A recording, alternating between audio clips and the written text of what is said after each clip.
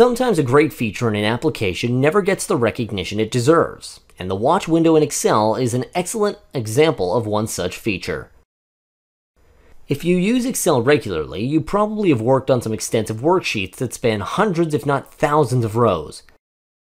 It could be useful if some of the cells you need to monitor often could be displayed in a separate window so that you could see the current value and formula at a glance. Microsoft created the Excel watch window for that exact purpose. Using the watch window, you can pull out essential cells into a separate window and keep track of them there, which saves you from having to scroll all over your worksheet. Look at this workbook. It contains two worksheets, the dataset and the summary worksheet.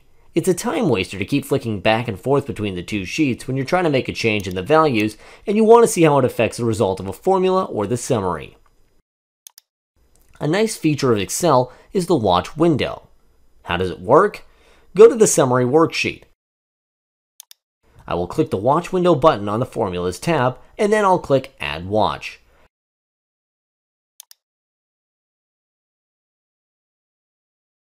In the Add Watch dialog box, I select a cell that I would like to watch the value of. So I'll select cell B2. Now I will click Add and the watch window appears here. And I can see the value of cell B2 on the summary worksheet, which is currently 3250.